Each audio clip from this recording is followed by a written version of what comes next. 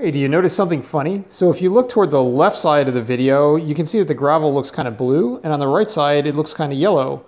Well, my camera's not broken. Let me tell you what's really going on here. So I bought a bunch of Beamswork LEDs. They're these 30-inch LED arrays, 6500 Kelvin white LEDs, but they're peppered with these so-called actinic LEDs. There's, there's about, I don't know, 10 or 20% of the LEDs that are this very striking blue.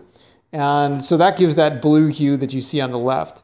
But the thing is that basically because of the very short wavelength of blue, they tend to highlight all the little tiny particles in your water. So they make it look a lot dirtier than it is. And frankly, it's not very natural for a freshwater environment because in a natural freshwater environment, you typically have, you know, trees or bushes or whatever overhanging the banks of, uh, of the stream or the lake or what have you. And they tend to block a lot of that blue and, and basically you get more yellowish, greenish hues.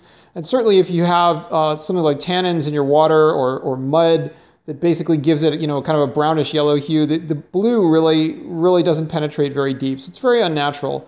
Um, furthermore, there seem to be some studies on the internet suggesting that it might be harmful to human retinas.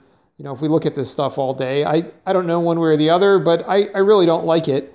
So what I actually did to eliminate uh, the blue light was very simple. I just took took the light uh, the lighting unit off on the right side, and I dried it thoroughly. And I basically placed little one to two square centimeter, uh, you know, sections of electrical tape over the blue LEDs. So in other words, the, it's the tape is applied to the glass on the LED panel. It's not actually applied to the LED panel itself, which is securely isolated under the glass. Um, and then I, you know, I sealed it real carefully to make sure there's not any bubbles where water could leak in between the glass and the tape. And uh, so for about, you know, 10 or 20 pieces of tape, I cut all of that horribly annoying blue. Pretty cool, huh?